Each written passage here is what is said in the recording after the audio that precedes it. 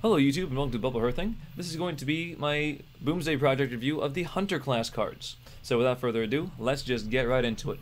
First we have a one mana secret plan. It's a spell, Discover a Secret. Pretty nice there. Um, most notably, it can be put into Spell Hunter, which is nice, or even just some kind of whatever hunter really. I think many hunters can kind of splash this in their deck. What are they going to take out for it? I'm not exactly sure. Maybe they're just going to throw it to the wayside and say no thank you. But, excuse me, in decks that are running the Spellstone, therefore they're running a decent number of secrets, maybe they take out some of the secrets that are more situational. Um, Wandering Monster is definitely a staple secret in Hunter if you're going to run the Spellstone. It's a very solid card. However, Explosive Trap, well, if your opponent's a control or a combo deck, then it's not really going to do a whole lot, is it? And Freezing Trap, well, if they're an aggro deck, maybe you just bounce a 1-1 and they just play out the rest of their minions. So those are the two that I could see. Maybe you run one each of those and two secret plans. That way you can kind of tech it towards what your opponent is playing. So if you can tell, okay, it's an aggro, maybe it's an even pally, or an odd pally for that matter, or maybe it's an even shaman, or whatever new deck, maybe it's a treant deck that's coming out here. Go for that explosive trap, get that 2 damage and everything, clear their board. If it's more of a control game, then sure, go for the freezing trap, or just take a wandering monster. If you have extra wandering monsters, it's not bad. I like this card. I think it's gonna see some play. Next up, okay, bomb toss. Now some people don't like this card. I really like this card. This is like one of my favorite cards for the set, and I love the goblin bombs. As long as you don't put the card in your deck. You can generate Goblin Bombs, and that's fantastic. Do not put the Goblin Bomb card in your deck. That is the wrong way to do it. So let's just go over what the card does now. It's a 2 mana, deal 2 damage, summon a 0-2 Goblin Bomb. I don't have it on here, but what the Goblin Bombs are, obviously they're 0-2, they're mechs, and when they have a Death Rattle, deal 2 damage to the enemy hero? Yeah, hero. It just goes directly face. There's no variability like it was with the Boombots. Notably, this says deal 2 damage. Doesn't say deal 2 damage to a minion.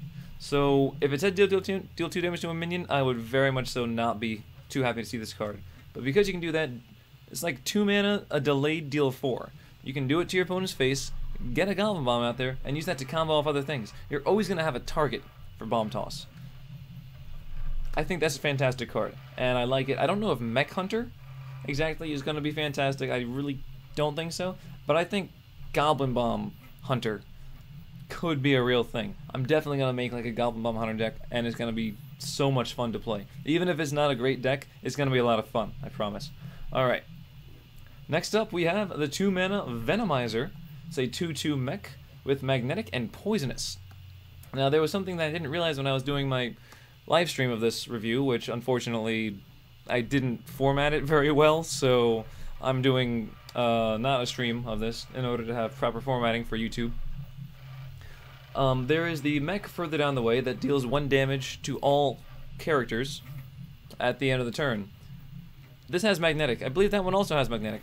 So either one you play, you can get the whole poisonous clear every board clear. You can get a board clear. That's what I'm trying to say here. Um, if you remember back to when we had the arena, where you would get two different classes, and many, many, many people specifically tried again and again to get Warlock and Rogue, so they could use the Plague Doctor, I believe it's called, or it's like combo, give a target minion poisonous, and the oh, Despicable Dreadlord to deal one damage to all enemy creatures, and it would just wipe the board every turn. What do you play? Okay, it's dead. What do you play? It's dead again. So aside from that very specific thing, I do not like this card. Does that mean that I like this card all of a sudden? Well, the other one costs a pretty hefty amount but it does what it needs to. It's basically an 8 mana board clear if you combo those two, and I think that's the only place where you're really going to see this having a lot of value. Maybe if you discover this mech somehow, then okay, I could see it being good. Just as a little discover thing, tack it onto something cool. But on its own, 2-2 Poisonous is bad. Um, the There was the Spider, I think it's a 5 mana 1-3 perhaps? Um, maybe not exactly. That had Poisonous and Rush. And that didn't see any play at all. This doesn't even have Rush. You can give it Rush, but that thing is too much work. Without further ado, I'm going to keep on going. I don't like this card. 2 mana Cybertech Chip. Give your minions Death Rattle, add a random mech to your hand. So what are we going to do with the Cybertech Chip? Well, the first comparison we have to this is Infest. It is 1 mana cheaper, but Infest saw absolutely no competitive play whatsoever. It wasn't even really all that fun to play. I mean, you could just keep playing beasts, but the beasts didn't necessarily synergize with each other. It wasn't very good. I think Cybertech Chip is also going to be not very good and not see any competitive play at all. I don't think the value of mechs individually and randomly is going to be enough to make this card better than Infest, which was already bad. Moving on. Two mana fireworks tech. You can tell how I kind of, you know, cheered up a little bit that I like this card. It is a 2-1 minion with Battle Cry. Give a friendly mech plus 1 plus 1. If it has Death Rattle, trigger it. And if this is triggering you that I keep moving my hands around, I'm sorry. I can keep them down here, but that's just not really. I like to move my hands a little bit and do things. Anywho, so this card, this is going into the Goblin Bomb deck without a doubt, because you're triggering the Death Rattle. There's already a lot of whole Death Rattle um, Hunter. Of course, this has to specifically be a mech, so it's not as um, as applicable as like Terrorscale Stalker, which just says target any trigger any minion's Death Rattle on any friendly minion's Death Rattle.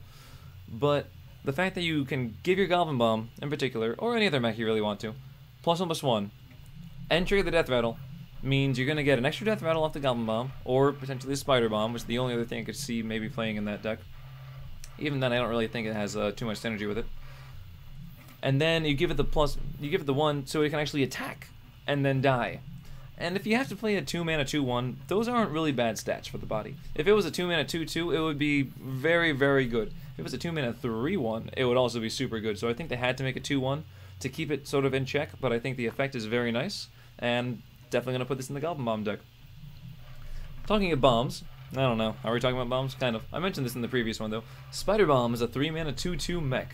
It has Magnetic and Death Rattle, destroy a random enemy minion. Wow, so Magnetic I don't really know if you want to magnetic this thing. Um, you could essentially rush the Death Rattle out there if you put it on a weak mech, but you're also giving it plus two plus two, but you want it to die to get the Death Rattle to go off, so not a huge fan of that interaction. However, you can use this along with, like I said just before, the Fireworks tech to trigger the Death Rattle, kill a random enemy minion, and then it has a little buff on it. Maybe you just run into something. So you trigger the Death Rattle, you kill an enemy minion. It gets plus one, plus one. Maybe you use that to kill a X3 minion, you know, a 4-3 could be there, 3-3. That's nice. So you kill that minion, and then it dies, and you kill another random enemy minion. So that's like three minions dead for two cards. Three for two is pretty good value. In that case, that you get that to work out. Maybe not. You're obviously not always going to be able to. But this is a pretty good card. The only downside here, this is Control Hunter. This isn't really Mech Hunter. If there is a Mech Hunter deck, this is probably going to run it because it's probably going to be based more around control. Keep in mind, Mech Hunter and Goblin Bomb Hunter are two separate. They might have a few overlapping cards, of course, but they're def definitely two distinct decks. Um, so Spider Bomb goes in the Control Hunter and the Mech Hunter. Not definitely, not specifically in the Goblin Bomb deck. I don't want to say definitely not in that. Well, it could be in Goblin Bomb deck, but I don't think that it's an auto-include. That's how I want to put it. That being said, I think this is a very nice card design. I like it very much. Um, and that's probably going to see some play. I think so. Next up, Goblin Prank. Now, how do we figure this one? It's a 2 mana, give a friendly minion plus 3 plus 3 in rush. That alone is nice. It dies at the end of the turn. That, not so nice. So how do we compare this? Well, we can compare this to, uh, oh geez, what's it called? You know, Power Overwhelming. There we go. I forgot it because it's been in the Hall of Fame. I haven't played it. I haven't seen it played in a very long time. so Power Overwhelming is the one mana Warlock spell where give a minion plus four plus four dies at the end of the turn. Doesn't give it charge or in this case rush, um, but it does die. So you're paying one extra mana to give something plus three plus three now, it's noteworthy that, of course, Power Overwhelming is in the Hall of Fame because it was considered, well, cr- unfair, unfit to be in the game to maintain balance. It was considered very unbalanced. So, let's see, 2 mana plus 3 plus 3. Would you play a card that said give a minion, you know, plus 3 plus 3? Oh, yes, you would.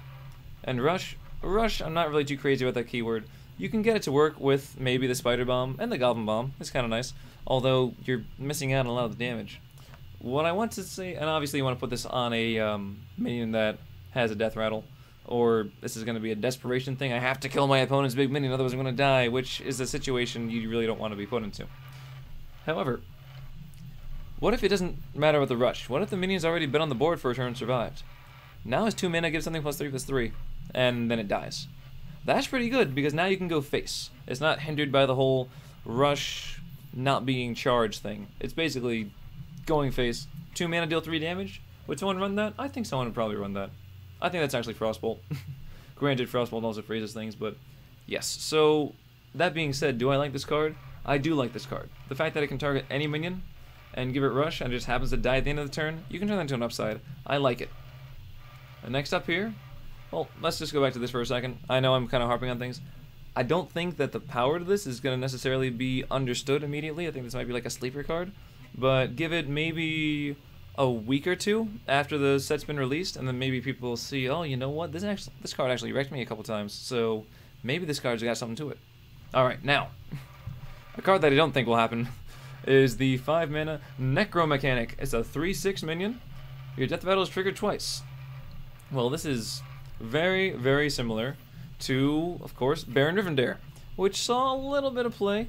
Um, it was cheaper at four mana and it was a 1-7 body, which was statted even further for um, survivability. This 3-6, I get it for the hunter, you want to do a little more damage, uh, and the 6 health is still kind of statted to survive, but it has less health than Baron Rivendare, and is played at a higher mana cost, which means that it's more likely to die before your effect goes off.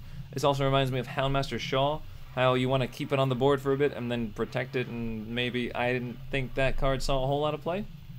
I didn't think that card. I don't think that card saw a whole lot of play words. I can use them. Um, this has no tribe to it either. This is not a mech, this is not a beast, this is not a dragon. Just, despite the fact that you see a mechanical beast in here. Yes, I know we're talking about the mechanic, but still, there's a mechanical beast. It should be at least a beast or a mech, maybe, I don't know. Um, so, I don't think this card is going to be very good. Despite the fact that I'm talking up the Goblin Bomb a whole lot, because, yeah, I don't think this is going to be the card that makes that deck work. I don't think this is going to be the card that makes any deck work the rare case you get this in Fluke and uh, the Boomzooka, which we're gonna go over at the end, and you get your death rattles to go off twice, but it's so random. I hate that card too. Spoiler alert, I don't like that card. I don't like this card. And I don't like this card either. What? Oh my goodness. And how much I talked about Goblin Bombs. This is a 7 mana 5-5, which is the main reason why it's bad. Boommaster Flark. Battlecry summon 4 Goblin Bombs. They're 0-2s. Wow, I mean, I could... So the only time I could see this actually being relevant is in Wild in a Feign Death deck, and one where you can actually run that and just trigger all your, all your death rattles. Okay, that's a legitimate case. Outside of that case, though, you don't want to fill your board with all these things. Yeah, you can magnetize them, but there's four targets to magnetize. Your opponent could wipe the board, and that's probably better for you if they do, honestly, because you're trying to get the damage out there anyway. Can you afford to play a 7 mana 5-5? No. No, I don't believe that you can in Hunter. I don't think it's worth it. Not that you're going to die immediately, but you're going to lose so much tempo from this play. And Hunter is a very much, you know, hit the face, keep up the tempo, keep up the pressure. You're relieving a lot of pressure when you play this card. You're going to follow up a Savannah Highmane with this thing? No. I don't like it. I think it's just too slow. And, well, what did Flark make? Well, you got a Boom Boomzooka here. 8 mana, Obviously, Hunter legendary spell. Summon three minions from your deck. They attack enemy minions, then die. It's noted that they attack enemy minions randomly, so you don't get to choose the targets. Say you have little minions and big minions in your deck, well, hopefully your big minions hit their big guys, or their little guys. Hopefully your little guys trade well, or they're just to run into things and die. You're to thin your deck three cards, I guess. I'm to have my voice crack right now, I guess. Wow puberty sucks, doesn't it? I went through that like a while ago, and now it's coming back with a vengeance. no, but anywho, this doesn't really seem very good at all. The fact that you're getting random minions from your deck also, you uh, sure you can try to gear this towards death rattle minions so that they trade and then they get their effect. Even if they don't manage to, you know, trade with something, you still get the death rattle. Kind of mitigates the downside to it. But on 8 mana, do you really want to play something that's board control? I don't even think Control Hunter is going to play this card. Thought I heard something. If anyone sees something back there, then let me know. Not that I'm streaming right now, but let me know. So, yeah, I don't see this card seeing, jeez, any play at all. Nasty. And that, I believe, is the end of the Hunter class card reveal for the Boomsday project. Thank you very much for uh, sticking with me. Next up, I believe we have the Mage. So, please uh, feel free to watch that video if you're interested. If not, good night or have a good day, and good luck.